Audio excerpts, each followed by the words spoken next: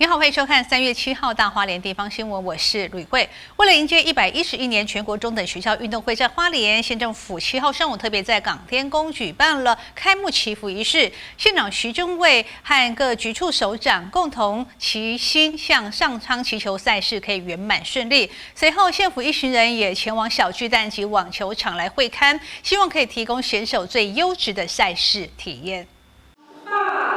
为了迎接一百一十一年全国中等学校运动会，花莲县政府七号上午特别在花莲港天宫办理了开幕祈福仪式。花莲县长徐增卫也在副县长严新章、秘书长饶忠以及县府各局处首长的陪同之下，众人同心祈求赛事能够圆满顺利。下缘的部分要往下，上缘你不可以再降。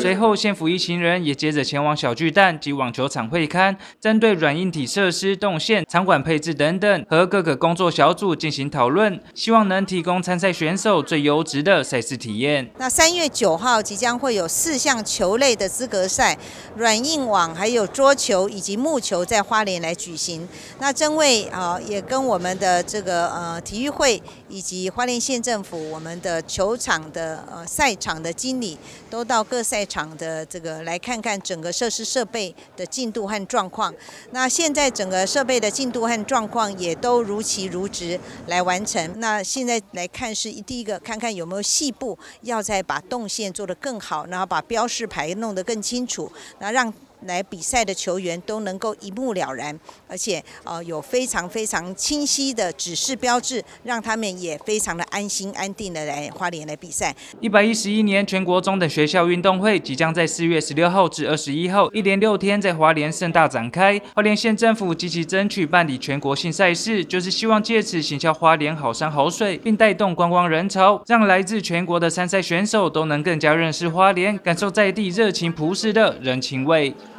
在不在？在。记者徐立琴，华联市报道。